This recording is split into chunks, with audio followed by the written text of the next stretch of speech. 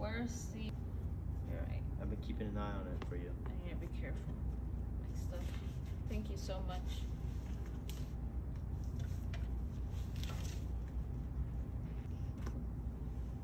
Very pruny. Thank you.